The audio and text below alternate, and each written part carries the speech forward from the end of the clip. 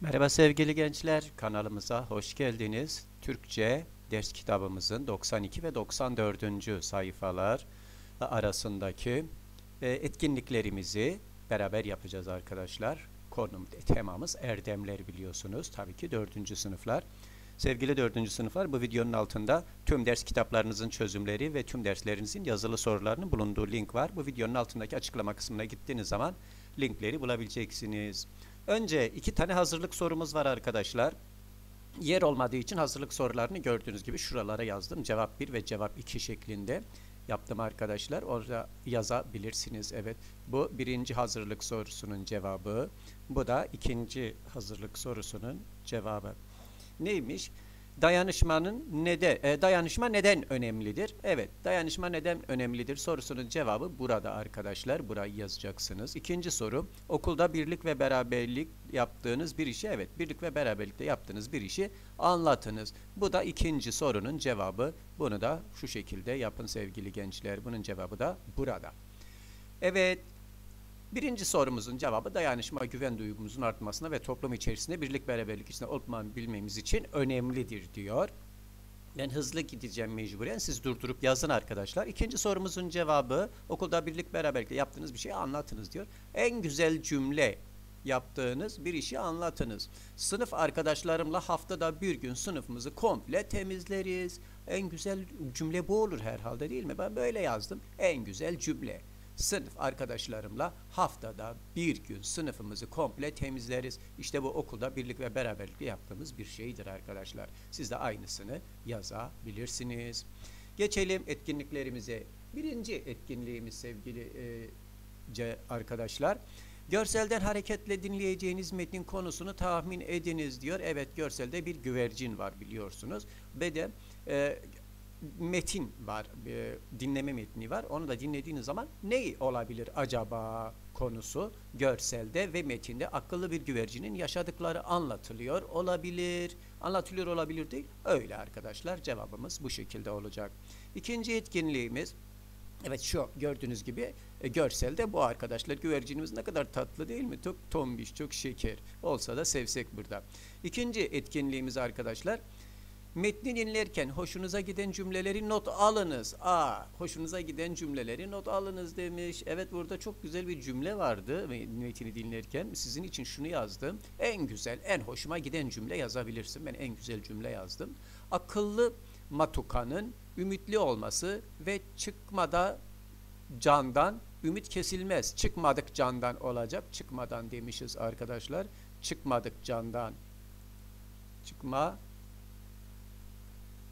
candan ümit kesilmez demesi çok hoşuma gitti şeklinde olacak. Çıkmadık candan ümit kesilmez diyor. Kim? Tabii ki Matuka değil mi? Evet ikinci etkinliğimiz de bu şekilde. Çok şeker bir kuş ya. Çok sevdim ben bunu. Hadi geçelim bakalım akıllı güvercinin üçüncü etkinliğine. Üçüncü etkinlikte dört tane soru var arkadaşlar. Metin dinleme sırasında soruları e, cevaplayınız diyor. Dört tane soru sorulmuş ve cevapları metinde bunların arkadaşlar. Sizler için tabii ki cevapladım. Birinci soruya adam ağaca tırmanmaya çalışmış olabilir. İkinci sorunun cevabı tabii siz durdurarak yazın ben konuşuyorum hızlı geçeceğim onun için.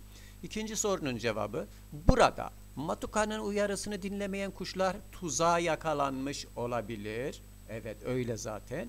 Üçüncü soruya verdiğim cevap size Biraz durun, bekleyin demiştim. Hiç laf dinlemiyorsunuz. Sizin yüzünüzde ben de tuzağa yakalandım demiş olabilir.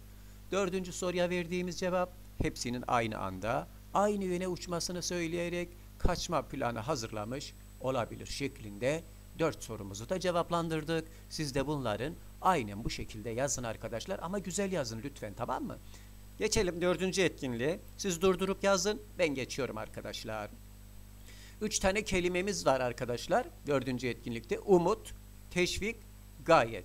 Evet tahminlerimiz gerçek anlamı cümlede e, sözlükteki gerçek anlamı ve bir cümle içinde kullanmamız isteniyor.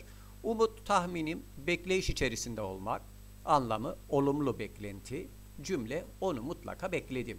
Pardon onu umutla bekledim şeklinde yazdım. Teşvik bir şeye özendirme. Evet teşvik özendirmektir arkadaşlar. Tamam. Anlamı isteklendirme, yüreklendirme. Evet. isteklendirme, yüreklendirme, cümle. Annem sınava girmem için teşvik ediyor. Yüreklendiriyor beni yani diyor. Gayret, çabalamak tahminim. Anlamı çaba sarf etmek, uğraşmak, cümle. Kazanmak için büyük gayretler verdim şeklinde güzelce yazabilirsiniz arkadaşlar. Yorumlarınızı ve like'larınızı bekliyorum lütfen. İstediğiniz herhangi bir konu, yapmamızı istediğiniz bir şey varsa yorum kısmına yazın. Sizlere yorumlarınızı gördüğümüz anda cevap vereceğiz. Ta Tabi abone olup e, abone olduğunuzda, yorum yazdığınızda yorumlarınızı görebiliyoruz arkadaşlar. Tabi like de atmanız gerekiyor.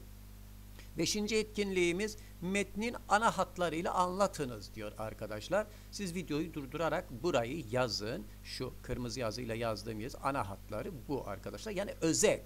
Parça özetle şöyledir diye yazmışım zaten. Gördüğünüz gibi parçanın ana hatları ne demek? Parçanın kısa bir özetini yapın demektir arkadaşlar. Parça özetle neymiş? Şöyleymiş. Siz bunu lütfen durdurarak yazınız. Ben geçiyorum çünkü parçayı okumamın bir anlamı yok. Zaten siz videoyu durdurup yazacaksınız. Evet ben geçiyorum 6. etkinliğe. Bakalım 6. etkinlik bizden ne istiyor? Soruları metne göre cevaplayınız. Dinleme metni biliyorsunuz arkadaşlar. Dinleme metni dinledikten sonra cevaplamanız gerekiyor. Birinci sorumuz. Matuka'nın yaşadığı orman nasıl bir yerdi?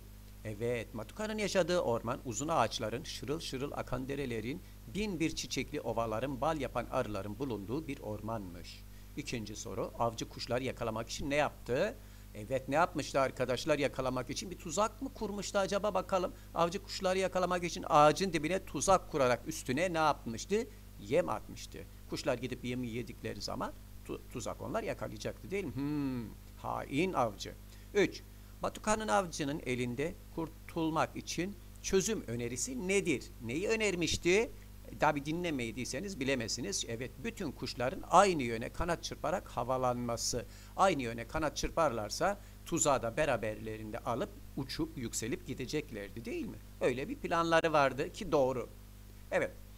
Yedinci etkinlik metnin konu ve ana fikrini yazınız diyor. Konusu Matuka'nın ve arkadaşlarının avcının tuzağına düşmesi ve Matuka'nın sayesinde kurtulmaları. Evet konusu bu. Ana fikir ise her zaman birlik beraberlik içinde olmamız ve ümidimizi yitirmememiz gerektiğidir. Evet konu ve ana fikir çok güzel yorumla özetlenmiş burada arkadaşlar. Aynen bunları yazın durdurun ve yazın lütfen.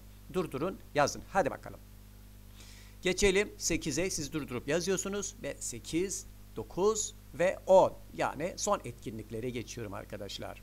8. etkinlik güvercinlerin davranışlarını tutarlı buluyor musunuz? Açıklayınız.